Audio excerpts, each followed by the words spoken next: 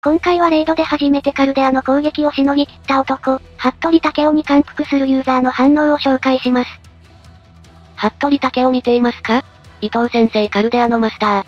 今度こそ、今度こそ、ドライノップ以外は何人も通しませんでした。守り。抜き、ましたよ。かは。少し、少し疲れました。よく頑張ったね。カルデアに勝った男。お前は新選組だ。抜けてせいせいしてる奴にそれは尊厳破壊なんてもんじゃねえぞ。ああ、もう土方さん絶対こういうこと言う。そういうところそういうところ。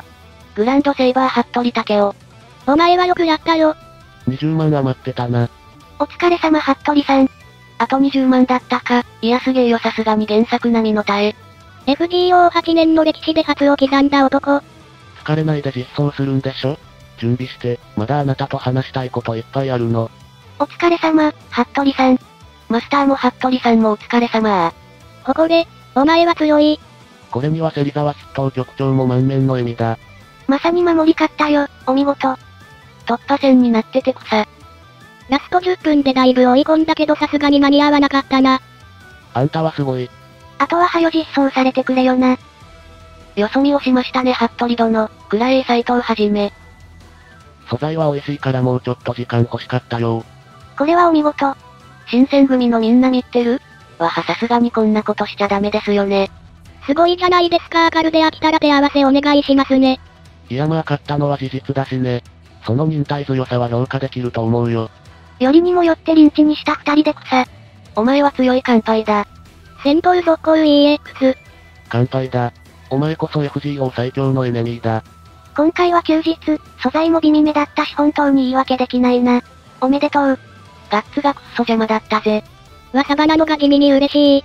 18時超えたら急に冷戦になったしもともと在庫余らせるくらいのつもりだったのかな。ソロモンでも突破戦はシナリオ進行に必ずやるだろ？お前グランドセイバーなのれ。服部さんもありがとう。負けたけど楽しかったよ。あっぱれ、忘れん。乾杯だ。お前こそ FGO 最強のエネミーだ。あっぱれだ服部武雄、生涯貴様を忘れることはないだろう。認めてやる。今はお前が強い。グランドセイバー候補に仲間入りを果たした男。グランドセイバー服部先生の誕生か。うまい素材、豊富な時間、それをもってしても俺たちはお前を倒しきれなかった。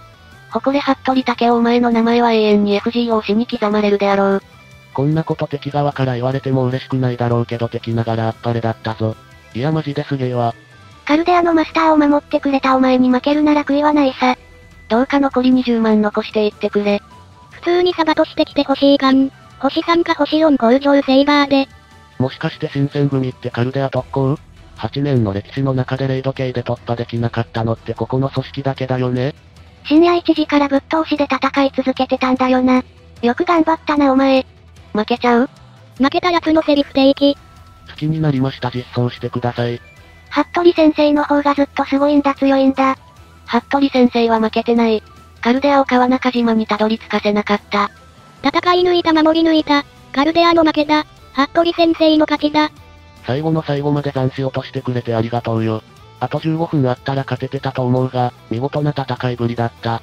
あっぱれとは思うが服部くんなんだかんだでまだ24時間戦ってはないんだよな。17時間ワンオペ耐久は十分すぎるよ。あとは実装されるだけだな。俺たちはいつまでも待ってるぞ。とりあえず今度からそのガッツ外せるやつにしてきてくれ。マジで邪魔。逃げるな卑怯者。竹雄さんは守りきったんだ。竹雄さんの方が強い。逃げるな卑怯者。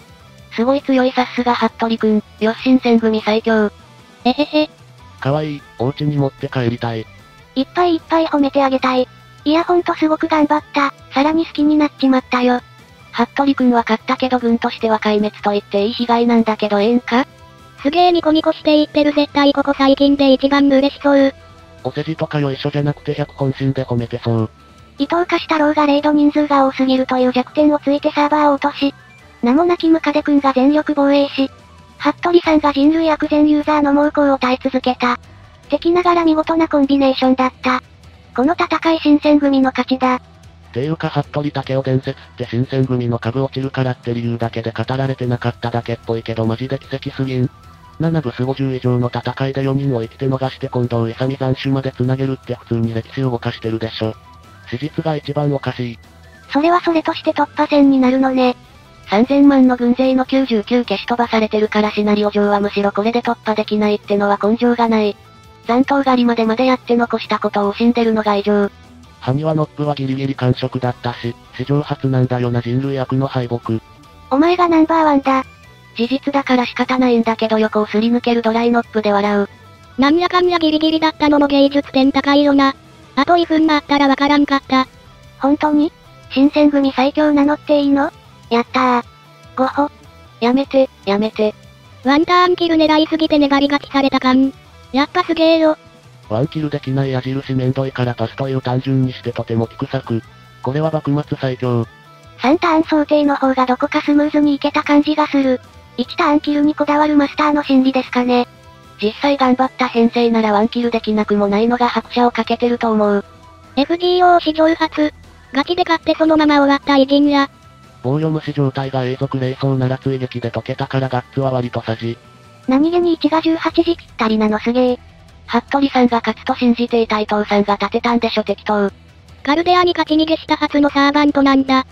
別ルートで計画は阻止させてもらうが服部には素直に負けてもいい感じあるのがなんか絶妙なキャラ造形してる。ムカデにはめちゃくちゃヘイト溜まったけど、服部くんならおめでとうあっぱれって気持ちの方が勝つのがなんとも。これって、本当に勝つのは反則っすよね。本当に勝つやつがあるか。実装してあと数分あれば借り尽くしてたってくらいギリギリだったのがすごく熱かった。ドラマかよ。カルデアの人類悪ですら食い尽くせないって異業ではほんまにお前ら二人服部くんに感謝しろよ。8時間で沈みやがって。ガッツが邪魔なのは事実でも残りちょびっとだったからな。服部先生ってやっぱ最強だわ。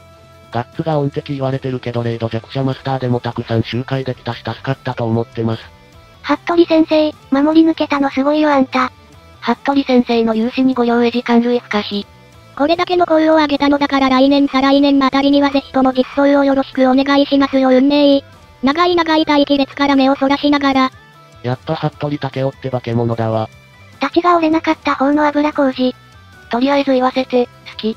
試合に勝って勝負に負けた感じだな。すげえよ服部。もしも今ガチャが来ればすごい勢いで回ると思う。何度殺されても心を燃やして戦い抜いた男の中の男。これから不死身キャラが1000回殺されたぐらいで心折れてたら、その程度で折れんなよ服部くんはな1500万回殺されてもまだ戦う気だったんだぞって気になっちゃう。イベント初見から好きになってたから実装して真面目に実装して、とりあえず列に並んで、あ、今ストーリー終わらせたんでこれ貼っとくね。ラストに30秒くらいだと思う。狂気の残死を落とすけどバーサーカーではなくセイバーなのがいい。まさにこの画像の説明が似合う戦いぶりだった。ちなみに画像は ABURA っていう油工事事件の漫画の服部さん。30話以内で完結してるから今回気になった人はぜひ。伊藤くんともどもカルデアの計算を超えたコンビやったね。